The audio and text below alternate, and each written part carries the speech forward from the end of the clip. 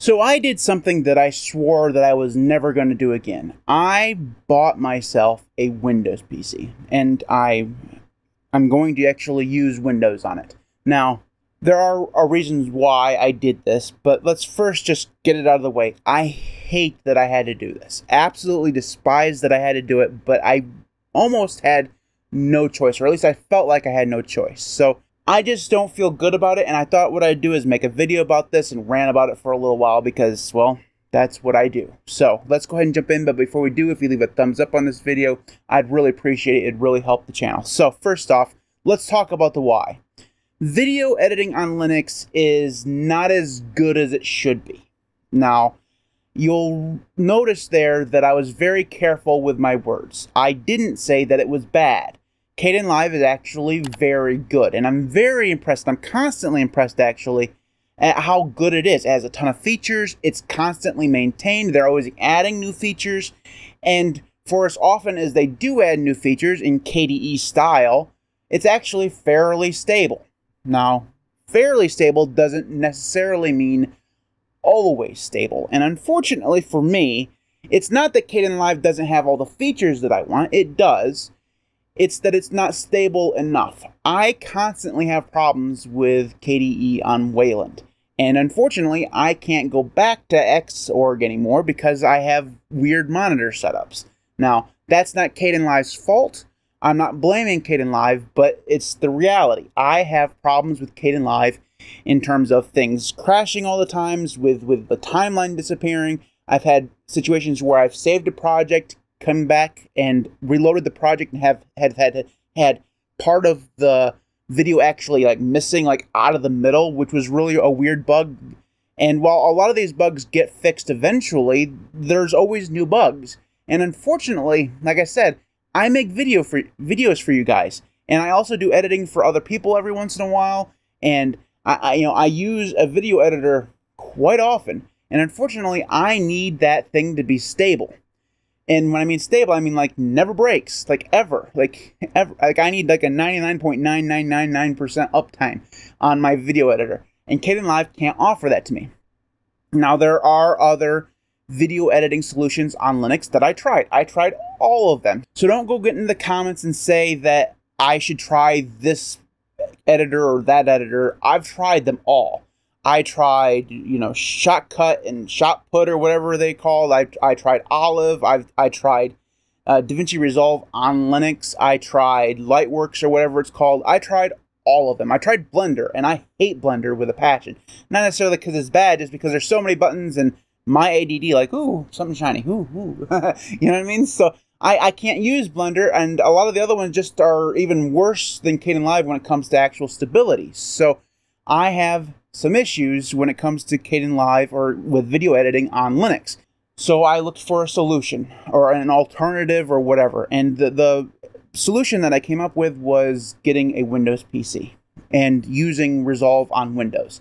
Now, if I had an NVIDIA card in my main PC, I probably would be able to use Resolve on Linux because Resolve does work on Linux. They do have it available for Linux, and it's actually not that hard to install. Even though on OpenSUSE it's impossible uh, because of some weird dependency things, but it was easy enough to install in a Distrobox, and it actually did launch. And I actually did a, I actually one of the podcasts that I edited, I edited all on Linux, and I was like, and, and I was proud. Like I, I I messaged Nate on Discord, like, hey, nana, nana, boo, boo, look at this. I edited the podcast on Linux in DaVinci Resolve, and I tweeted it out, and or I, or I uh, tweeted it out or whatever, and I was very proud of myself. And then I went to render, and it crashed the whole PC. And then it did it again and again, and I was like, uh. Now, that, again, is not DaVinci Resolve's problem, or I guess it technically is. They just don't like AMD cards. So what I ended up actually having to do was buy this Windows PC and then use that to edit my videos. And I've been doing it now for a couple of weeks, and I hate it. I, I hate it with a passion of a thousand burning suns. Now, if you use Windows uh, and you are, you know, you you're forced to use Windows, or maybe you prefer to use Windows, whatever the case may be, that's fine for you. Like like I don't want to disparage anybody for having to use Windows or even choosing to use Windows because a lot of people choose to use Windows because there's games on there that they need or software that they need or they just don't like win- you know Linux or whatever. You know that, that's fine. We're all you know human beings with our own rights to make our own choices, and that's the way that it should be.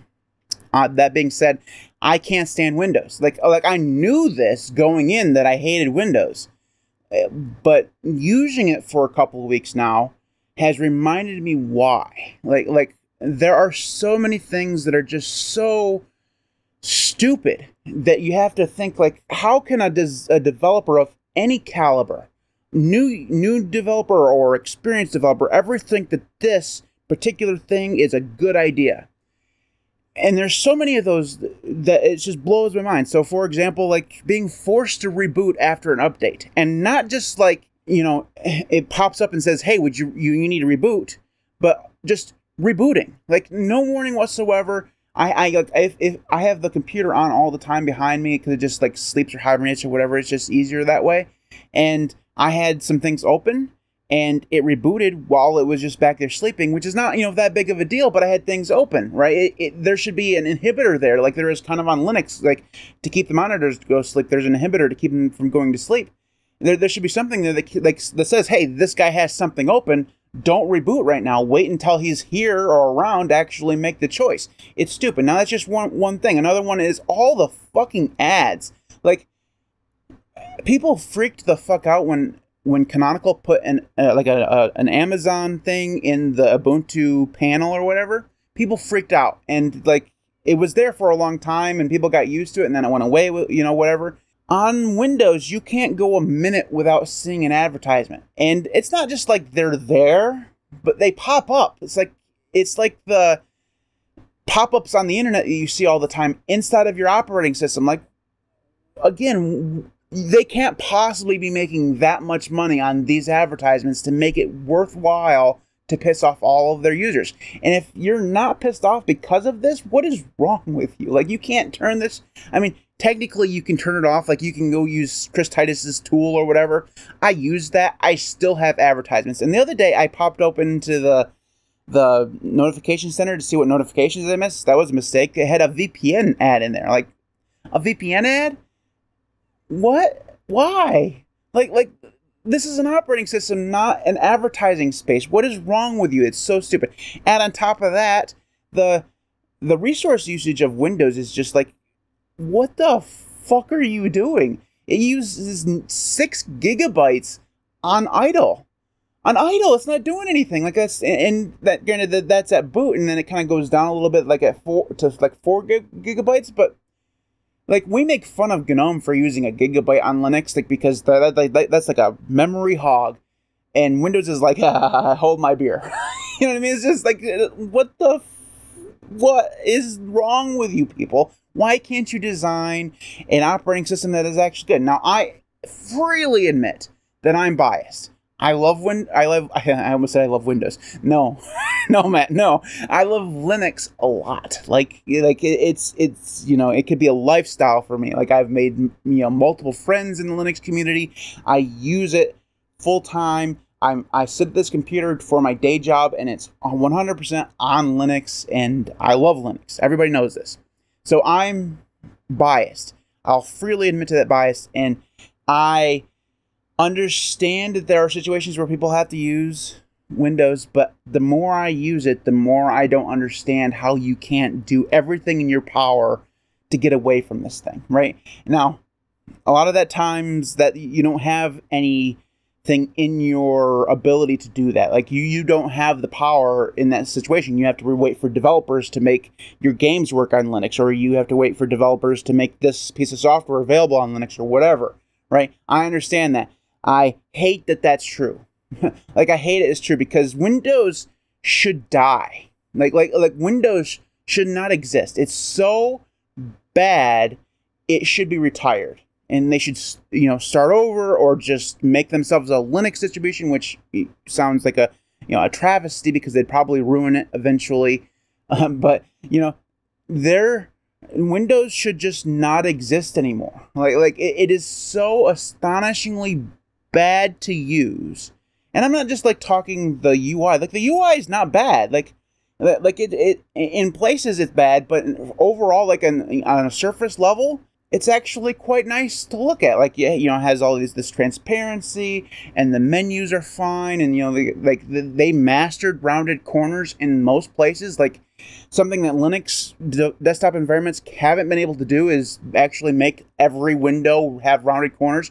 Windows did that for again for the most part. There are a few exceptions, but for, you know they've done a much better job than Linux has in terms of rounded corners, and you know it, it looks fairly nice. And then you kind of delve deeper and you come across some context menus that look like they were developed in 1998, and you're like, yeah, that's not a good experience, right? But okay, like this is an old operating system. There's a lot of legacy stuff, and I can I can deal with that. And then you, is that an ad? That's an ad. Oh, is that an ad? That's an ad. Why is that thing popping up? Why can't that pop up be dismissed? Why can't I assign my default browser? And why after an update, after I finally did figure out how to set my default browser, did you change it back to Edge?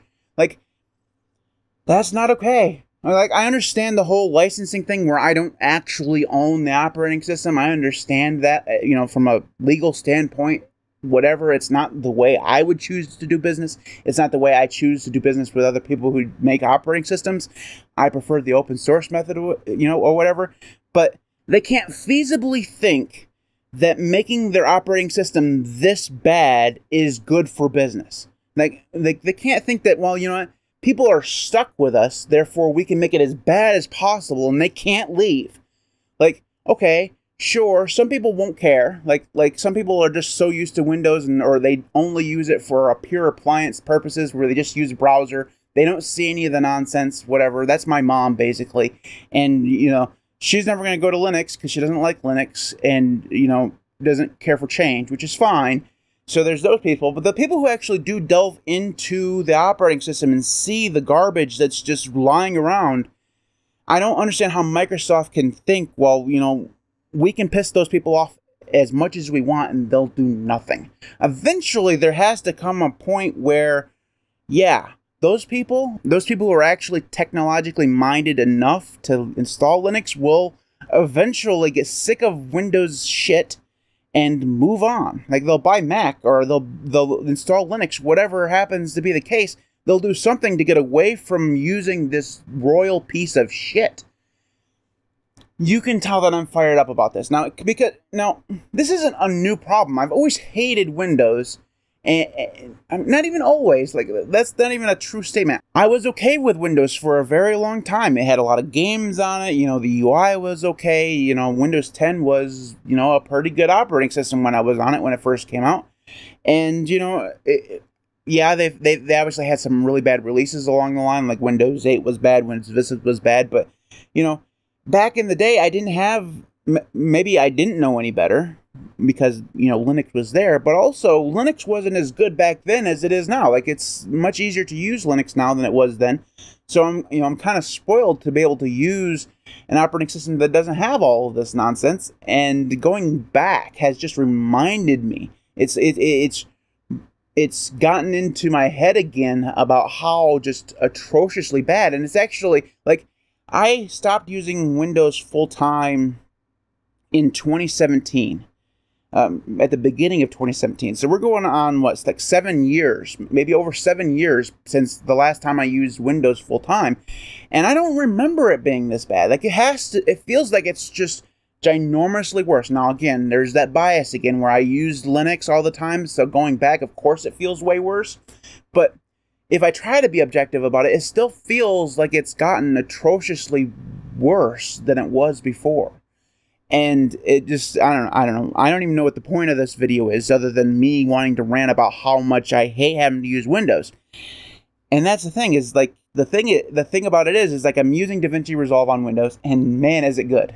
like it is so good. Like it blows Kdenlive out of the water when it comes to video editing. Now, that's not saying anything about the Kdenlive guys. They're doing their best with what they have, and and they've done a, an extraordinary job doing what they have, but the difference between them and a professional audio, uh, you know, video editing tool is just amazing, right? It, it's astonishing because it is so good.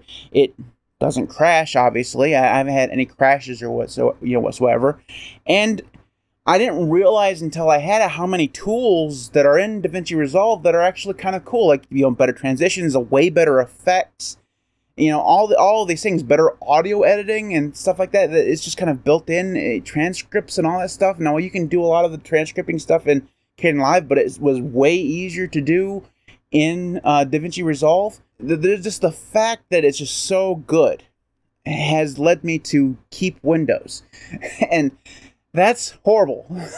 like I, I, wish it wasn't so good, so I could just you know I can put up with Kdenlive because you know it's not the difference isn't that you know great, but that's not true unfortunately. DaVinci Resolve is good enough for me to stay on Windows on that PC. Now, that's all I do on Windows. I will not do anything else. I tr- actually did uh, play Sims for a little while when I first got the PC because I haven't been able to play Sims on Linux for quite some time, but uh, that went by the wayside pretty fast as well. I now just switch into the my, use my KVM switch to switch to the Windows PC, do my editing, send it back over the uh, network through uh, Samba, and uh, upload it on on Linux.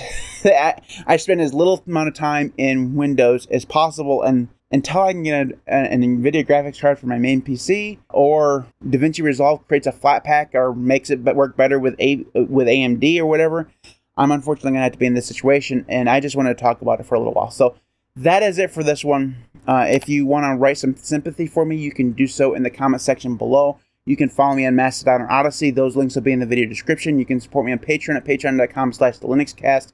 Just like all of these fine people, thanks to everybody who does support me on Patreon. You guys are all absolutely awesome. I, am I'm, I'm doing the Vanna White things again. I'm I'm really got to stop emulating her. Uh, people in not not in this country probably like, who the hell is Vanna White? Anyways, uh, thank you so much for your support. I truly do appreciate it if you guys support me on Patreon or YouTube or, or Ko-fi or whatever. I truly do appreciate it. You guys are awesome. If you want to do so, you can join those people uh, with the links in the video description below, or you can head on over to the shop, which is available at shop.thelinuxcast.org. There you'll find a whole bunch of awesome merchandise, and all that goes directly towards helping me make more videos for you guys. So, thank you for watching. I'll see you next time. I promise that I'm not going to switch to Windows full time. I promise. Like, I promise.